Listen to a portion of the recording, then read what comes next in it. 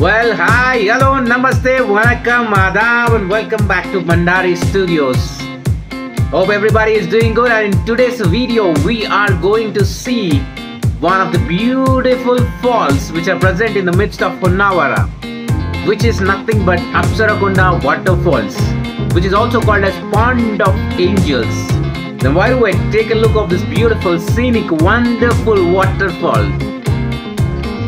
Apsarakonda Falls, also called as Pond of Celestial Nymphs, is a small waterfall where water cascades down from the height of 10 meters into a pond below. These falls are present in Apsarakonda, a small village in Uttara Karnataka district.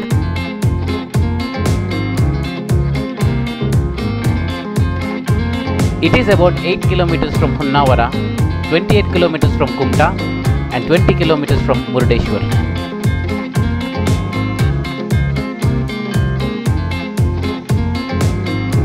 We need to walk down about 100 to 120 steps to see the view of this beautiful falls. This waterfall area is suitable for bathing, playing and swimming for family and kids since it's not so deep. But you can expect a huge crowd on the weekends.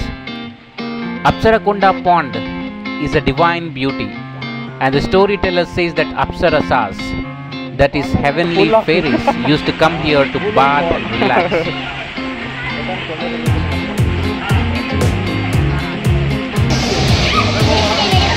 The place truly exudes heavenly beauty.